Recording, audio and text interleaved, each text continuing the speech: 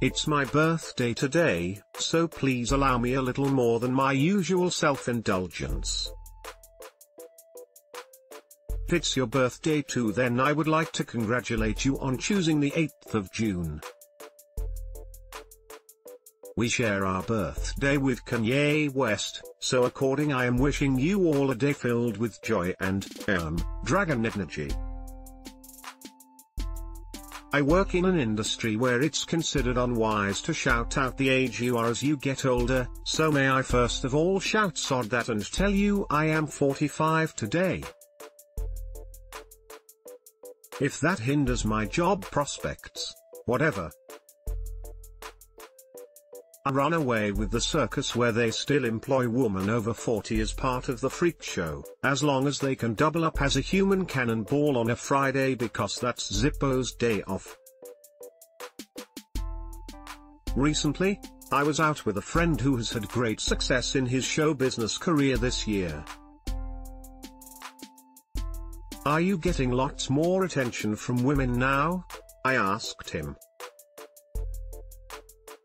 Yes. He said, then wailed, but they're all 45-year-old divorcees. I reminded him of my own age and marital status. He spluttered and coughed his apologies and flattered me, I didn't mean you. You're hot. In other words, you're an alright 45 year old. It's those other ones, coming over here with their bingo wings and jam recipes. I wasn't insulted. What I suggested to him was bad too. I had implied that he wasn't attractive to women until he'd got a bit of fame. Happily he was too mortified to pick up on that.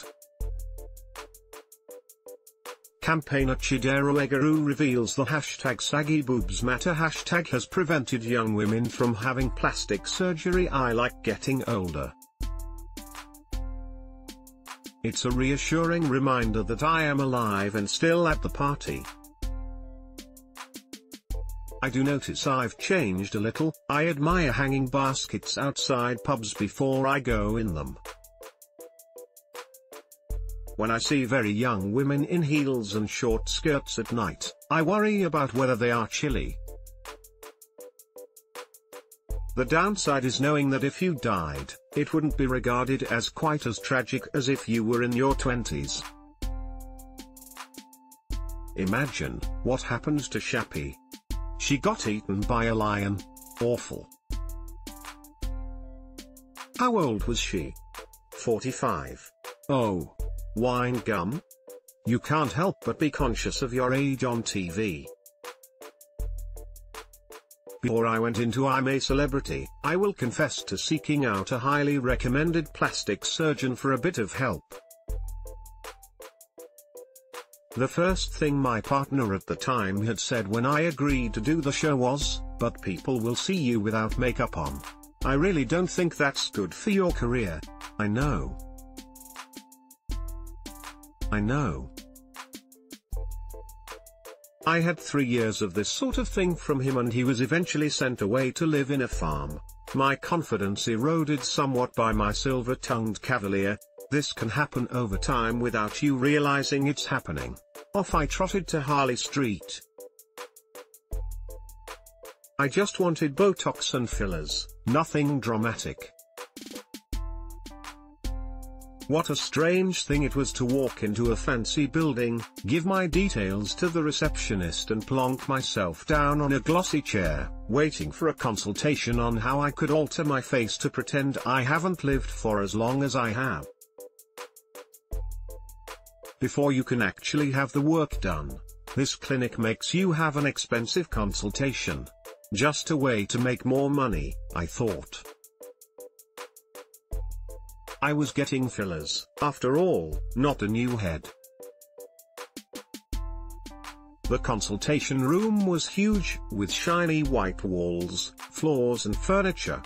Everything looked super this will how your face will look. Smooth. So, the softly spoken Indian doctor said, why are you here? I told him I was going on a TV program where I'd be filmed at every angle, 24 hours a day and I wasn't allowed to wear makeup.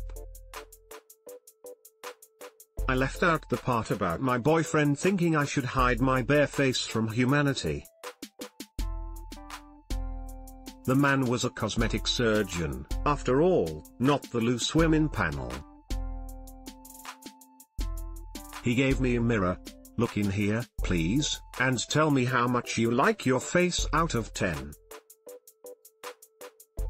Not how beautiful you think you are, but how much you like it.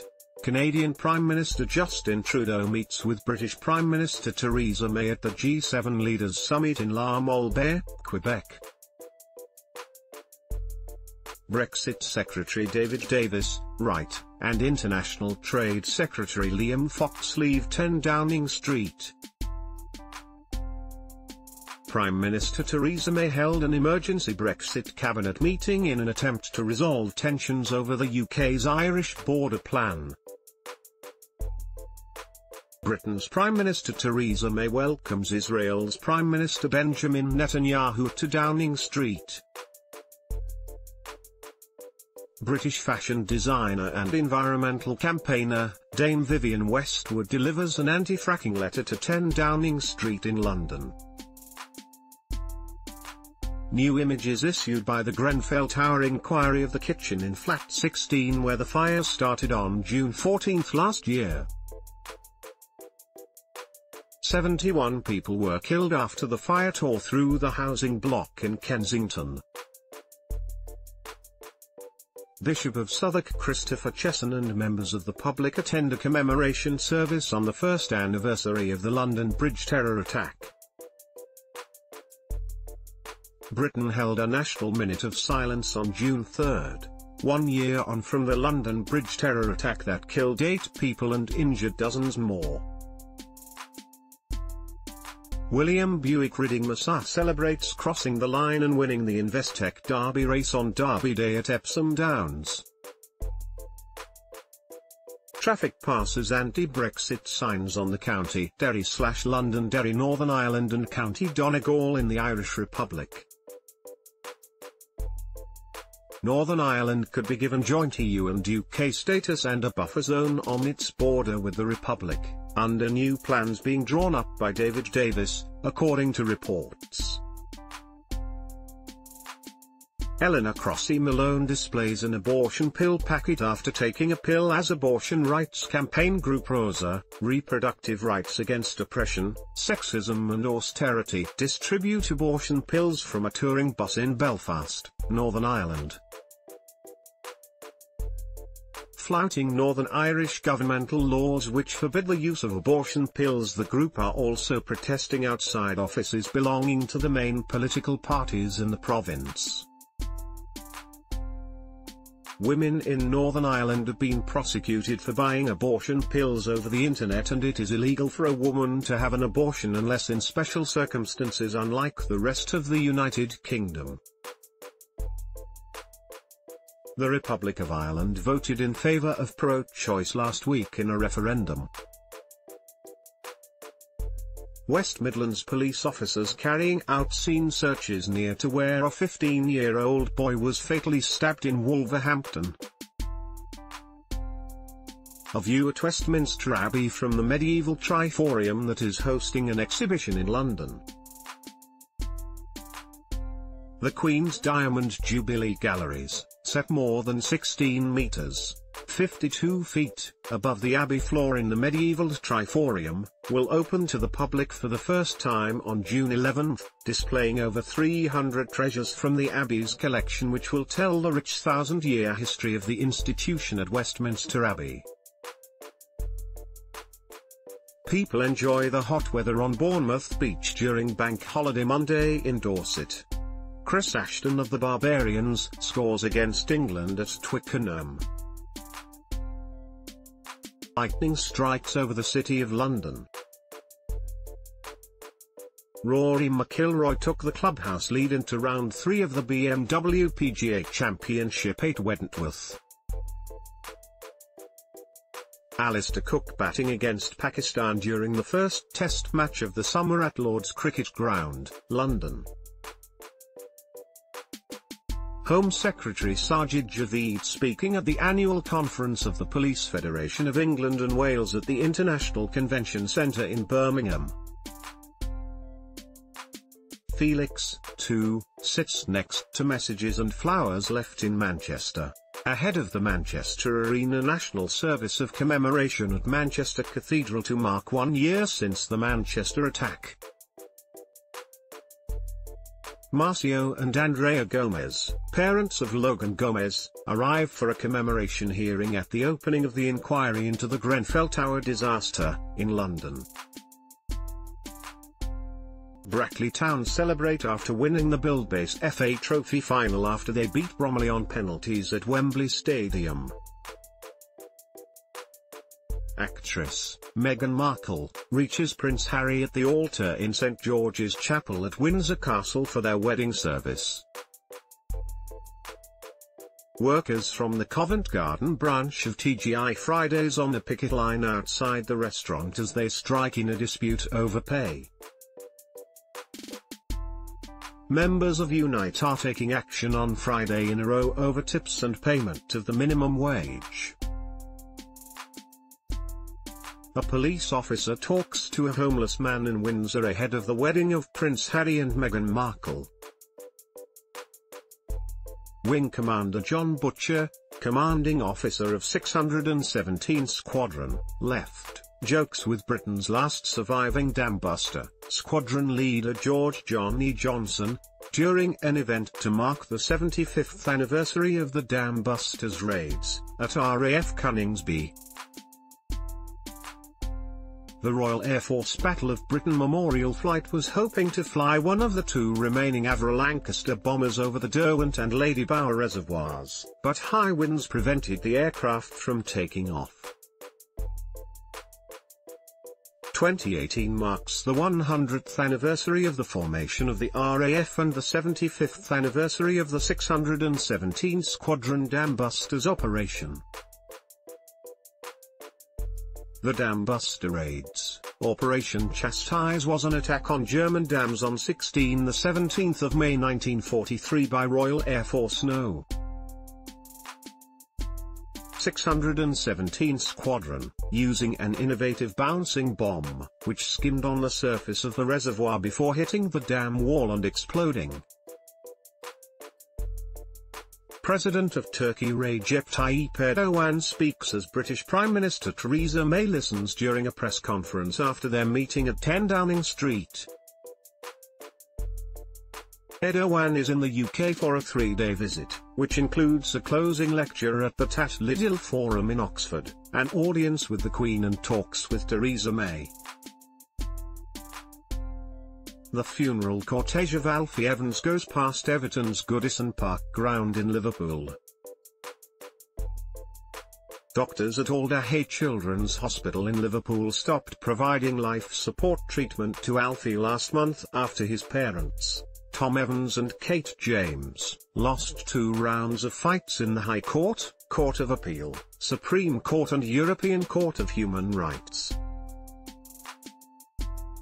Daisy May Cooper, the winner of the Female in a Comedy Award for this country, with her BAFTA.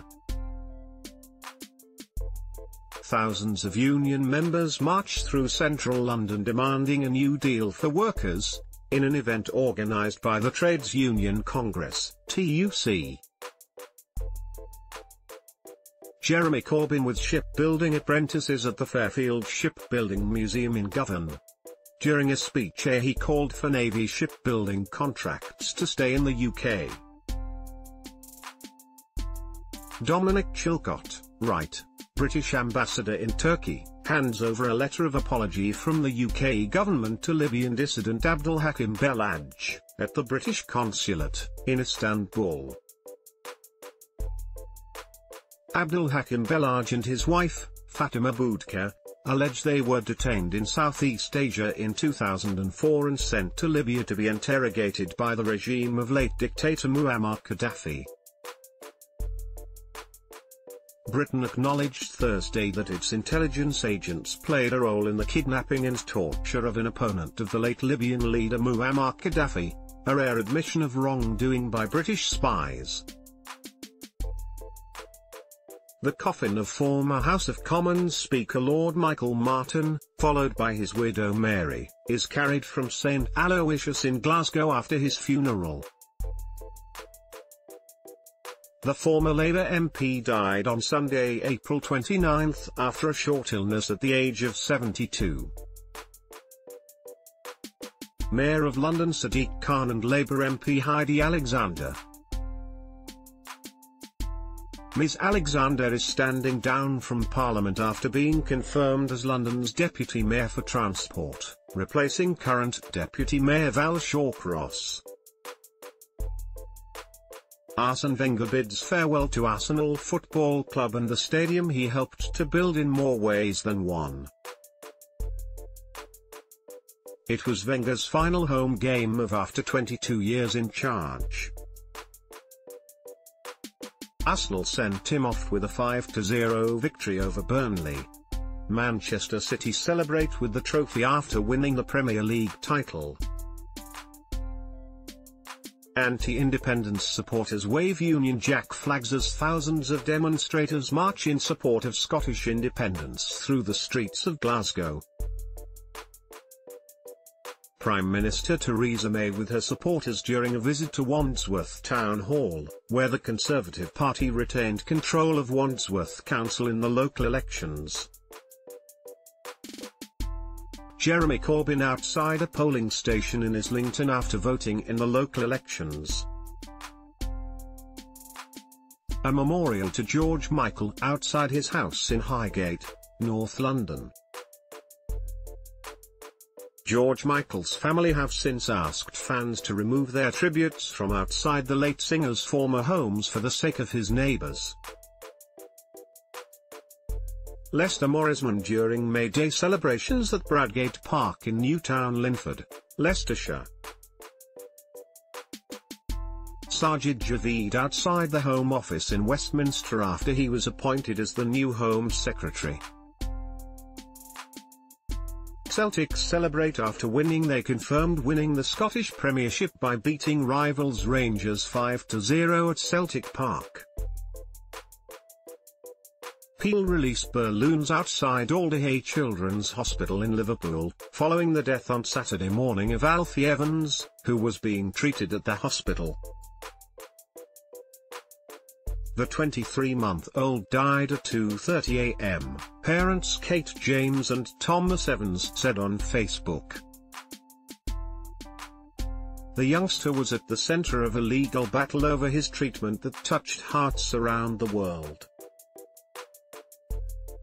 U.S. Secretary of State Mike Pompeo, right, speaks with British Foreign Secretary Boris Johnson, left, and Belgian Foreign Minister Didier Reynders, centre, during a meeting of the North Atlantic Council at NATO headquarters in Brussels.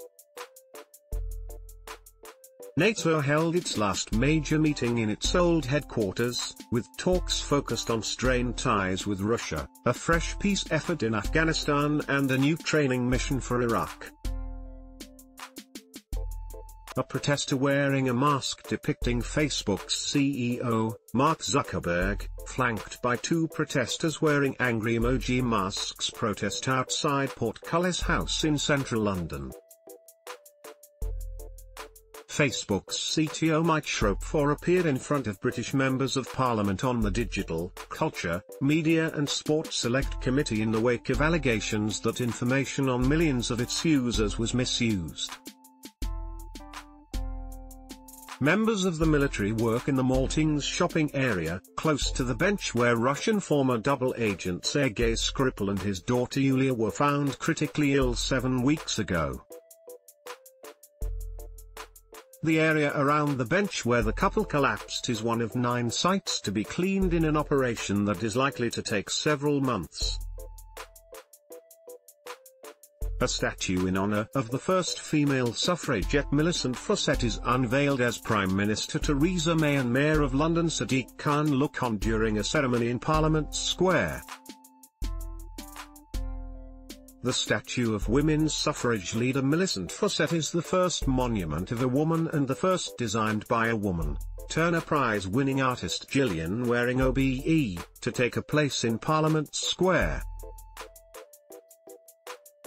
Prince William arrives at the Lindo wing of St. Mary's Hospital with his children Prince George and Princess Charlotte after his wife Catherine, the Duchess of Cambridge, gave birth to a son.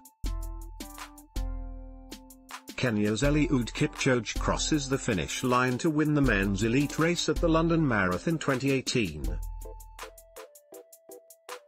Team England athletes during the Commonwealth Games Team England parade in Victoria Square, Birmingham.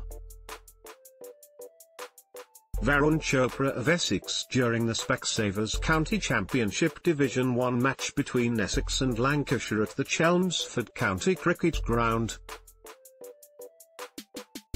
The game is being played in the warmest April temperatures in 70 years. I looked at my face. I've always liked my face, if I'm honest. We have been through a lot together. I look like my mum, dad, son and daughter all mixed into one. Theirs are all faces I love, so I said, 10. The doctor nodded wisely, as only a man getting paid £300 for a chat can.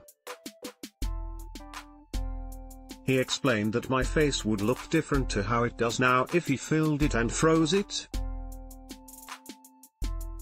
If I liked my face 10 out of 10, then I was perhaps just anxious about being on a primetime TV show and I was looking to the wrong thing to fix my anxiety. I think your issues are more emotional, he continued. For now, my advice would be to meditate, find emotional coping strategies for adventure into the unknown and come back here when you are 60. If you still want cosmetic enhancement then, we can discuss it.